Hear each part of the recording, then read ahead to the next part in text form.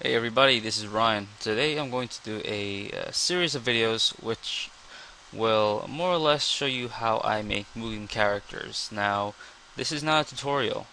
Um, I'm just showing you how I do it. You can follow my steps and in the end you may learn how to make a character, you may not. It's totally based on how you see the video and how you think about it. Now, um, first off, to make a character you need sprites. The places I would recommend would be Sprite Database. I spelled that wrong. Okay, there. Yeah, Sprite Database or Spriter's Resource. Uh, you can get a link to Spriter's Resource right here at the bottom of Sprite Database. And they're more or less they're almost the exact same, except um, Spriter's Resource has more sprites than Sprite Database. However, you know they have it's kind of like Pokemon you know, two versions. One has um, sprites, the other one doesn't. Now, today I'm going to make a character from a DS game called Draglade. Uh, okay, Draglade. And I've decided to work on Sheila, which is right here. Now, the sprites. As you've seen, she is a kind of purplish character, a girl who wields a bow. So you can imagine from just seeing the bow image, you will be using a lot of projectiles usually arrows and stuff, and from the looks of it, ice is her element. Now, I will add some new little fancy features to her, like an elemental bullet system, which I've added to Cross and Zeke, or Zeki, whatever his name is. As you see here, Shelly from Draglade, Ripped by Grim, give credit if used, which I usually do. And I usually recommend most people go to this website, spritedatabase.net, for sprites. Now, save this image.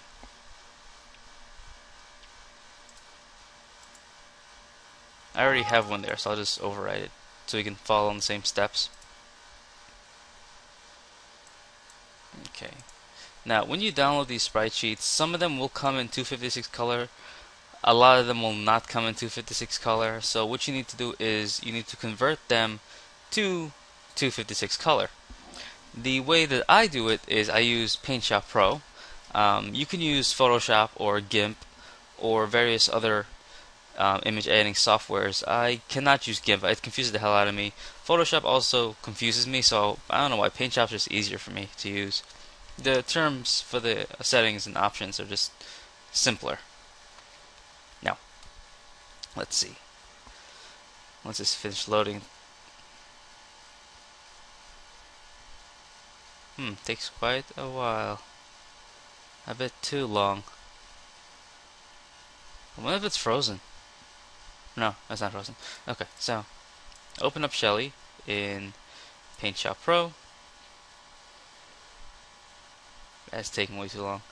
And as you can see here, this right here tells you that it's a 24-bit image. Actually, I believe this image is actually 32-bit. Oh, down here you see it says 8-bit channels. But it's still a 24-bit image, and Mugen will not read this So we're going to remove the most unimportant parts of the image that we really don't need, which would be this. We'll keep her face. And the palettes. Because you don't want these on the palette when you make it. Now let's see. Okay, that's more or less all of it. The ice is going to stay. We'll use the default ice for now.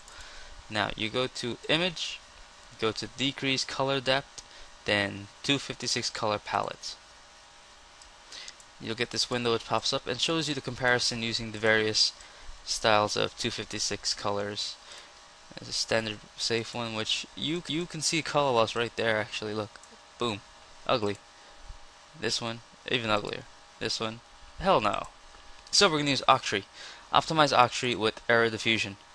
That's my personal preference to use and reduce color bleeding which is not necessary in this case but it works well for really high color images. So hit OK you see now it's a bunch of boxes and colors. This means that it's a 256 color image. So we're going to save it. And we can close that off. Now I use a program called iDraw. I'm pretty sure no one else uses this program currently at all because this program was made for RPG Maker way back in say the year 1999 or 2000. It was meant for RPG Maker 95, but I used it since 2000, and it more or less shows the sprite sheet and the palette for the character and it's kind of a mess here right now but uh, I guess I could fix it, but I'm not sure if it's really worth it. But let let's take a test of something. Alright, so let's see if we can change her shirt to blue. Oh, red. Yeah, red. Red's a good color. So right click, take that color, double click on this, mm, set the hue to zero. Okay. Now, as you can see from changing this one color here, it takes her boots, her clothes, and her bow. That's not a good thing either. Too much, uh, yeah, she, it, the color just takes up too much of her body. I would like to color separate her, but that would just kill the point of this whole tutorial video thing. Uh, testing. Okay. Okay, so her palettes will uh, more or less be kind of monotoned, I guess. Yeah, that's unfortunate that she has to be monotoned like this. But I, I guess it's okay. So let's put her back to normal colors. Now, I'm going to open a new image with, say, 200, 200. This way, any of her sprites will fit within this box range. I will open this image up in Paint. Drag off to one side. iDraw. Drag off the other side. Now, this kind of thing is tedious, but it is possible to use a program such as, um, ah, I forget the name of it. It was a program made for Mugen that uh, rips sprites for you, basically. Let me see, maybe I can find it here in Mugen Guild. That's okay. Let's see, tools. Nope. Nothing here. Miscellaneous.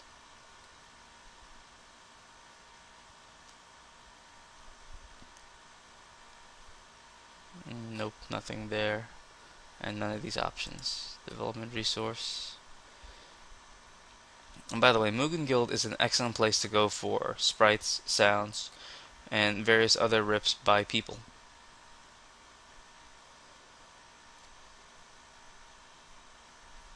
Okay, I think Spriters, I mean Sprite Database has the um, the program. Let's see, go to downloads here. Ah yes, Alfred Sprite Sheet Unpacker.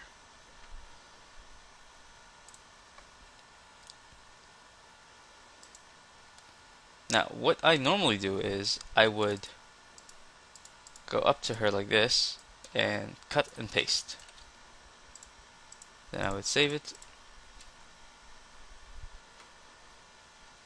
Make a new folder for her. Ah, Shelly. And name this stats000. And this process will go on for more or less the entire sheet and everything else. However, thanks to the Alfred program, this has been minimized to merely seconds, whereas that would take me, say, 10, 15, 20 minutes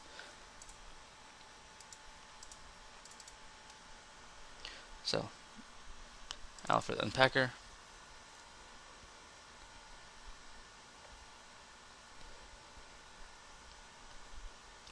Drag and drop here, okay. I will drag Shelly, put her in there.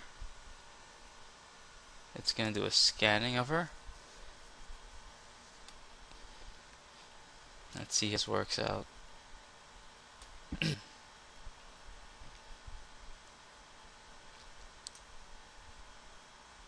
You know, whoever this problem is genius. But for some type of effect, it's really a hassle, if anything. There we go. And you see all of these uh, blue boxes around her? Those are what's more or less going to be ripped. See how this is separate? If I'm correct, you do that and that. And what it, it's not right click. I forgot what you do to do that, but anyways, it's gonna rip everything within it. It's its own blue box. Oh, good. It didn't separate these. Good. This is kind of okay here. Alright, if anything, I'll rip the effects myself later on. I just need her sprites to get started, so export. export to Shelly. Okay. And it's going to export all the sprites into Shelly. Ah, well, just the two sprites that I picked.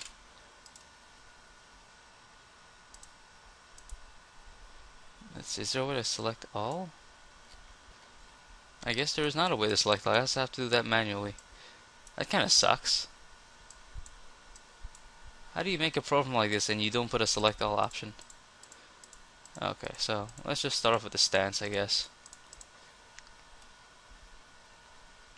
Okay, so stance, scroll up, scroll up, and the basic 5000 stuff. This, okay, this, this, this. See, this is part 2, that's not good. Okay, so we'll just use that for now. We'll export that to Shelly.